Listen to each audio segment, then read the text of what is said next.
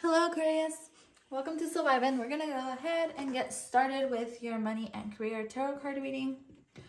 Aquarius, Sun, Moon, Rising, Venus. What does Aquarius need to know at this moment in time? What do they need to surrender and release to attract more prosperity or open, it, open up a new door into their life? Let's see. Surrender to rest and sleep. I feel like you may want to be recuperating this month. Maybe even taking a vacation or a mini vacation. Surrender your ego and you also get divine timing. So something may be coming to you in divine timing and it may be just a need to kind of step back and allow the universe to bring in your manifestations or whatever it is that you're waiting for. This may be a wanting to travel, a wanting to rest maybe even, or even just kind of wanting, um, I feel like for some of you, you kind of want something to happen now or something like that. Yeah. But there, if, if you surrender to effortlessness, it'll come to you faster. So stop pushing so hard and like put your ego aside for a minute. And the art of living means going with the flow instead of trying to force the river. So kind of go with the flow, right? Keep things lighthearted. Um, maybe something, some news comes along that you don't like and it may have to, you may have to kind of be forced to either accept it or let it go uh, whichever one it is for you, just make sure you kind of uh, accept and release, accept and release, and stay in this type of energy throughout the month in order for you to stay positive and upbeat when it comes to your money, career, finances. So let's see. I'm going to start with this card. So the Five of Pentacles, like I said, maybe something isn't going your way. There may be a little bit hardship or maybe this is just what you're feeling right now. You may be struggling with finances in some type of way. We all go through this um, nothing's ever perfect, right? So there may be um, a sense of maybe you spent too much money on something and maybe you regret it now. Or maybe there's a need for you to feel more gratitude towards life and towards what you have. All right, because I do feel like if you feel like something isn't really um, up to standards or up to meeting up to what you want, right? Maybe you're investing into something and you feel like it's not paying off. I feel like maybe if you practice a little bit more gratitude, it will cultivate a lot faster or better for you. I do feel like what you're working on is definitely you something you really um, put your hard work and effort into and something that is worth um, and that has a lot of potential and success or has a lot of successful um, undernotes to it or that maybe you are already very successful but something this month kind of isn't as good as you want it to be. If that is the case, there is just the need to kind of step back and acknowledge how much or how far you have come. You also get Page of Swords. There's good news coming your way. I do feel like there's people who are keeping an eye on your page or keeping an eye on your... I, I said page. This might be like a social media account. King of Cups. And I do feel like there's a lot of love you're receiving from people because um, I do feel like for some of you, you want to give up on something you really, really love just because it wasn't, it's not going as good as you want it to. But sometimes, you know, that happens and it's almost like you went through some, and you've been going through, you've been struggling in some type of way. I'm getting the Ten of Swords energy mixed in with the Five of Pentacles and then the Page of Swords is next. So it's like you're learning to free yourself. You're learning to have a more positive mindset in order to grow your business or in order to grow um, your money or finances this month yeah, it's like there's a need to stay optimistic and positive and even use your charismatic or more intuitive side or empathic side to get to where you need to be. Um, being very emotionally mature with people around you as well. People may be coming to you for advice in some type of way. Yeah, there you are, the star card. You People look up to you, Aquarius. People look up to you. Maybe you're a writer or you like... Um, you like to write or writing will be very important for you this month.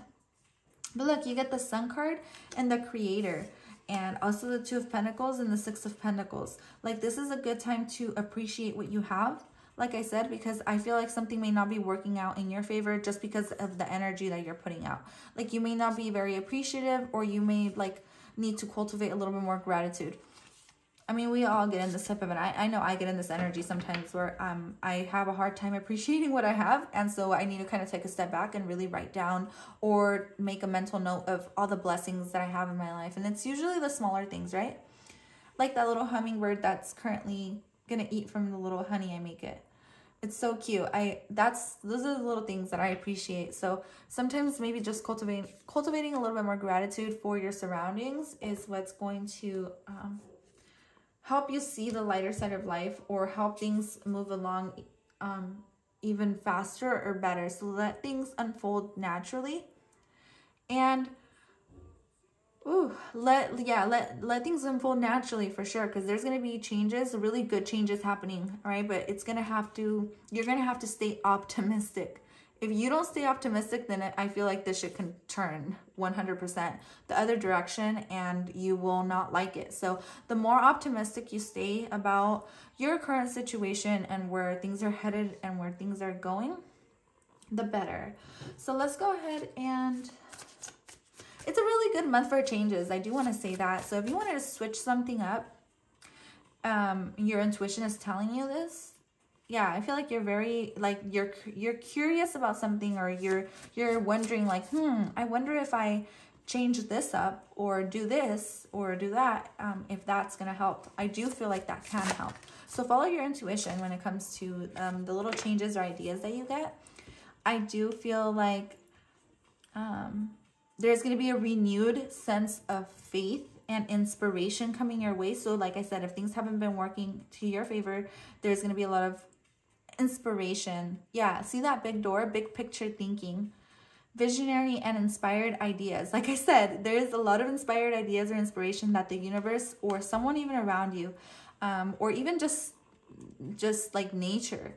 Um, like I said, like I brought up the the honey I'm not the honey, the syrup and the hummingbird I just saw outside my window.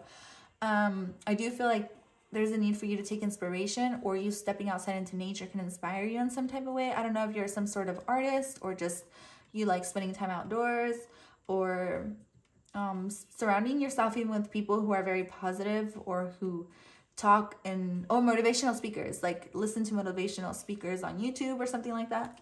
That can really help you uh, shift your energy and get a look at the big bigger picture of things. That's exactly what you need to do here what i said in the beginning right? To see the bigger picture and acknowledge how far you've come acknowledge how much work you've put into something.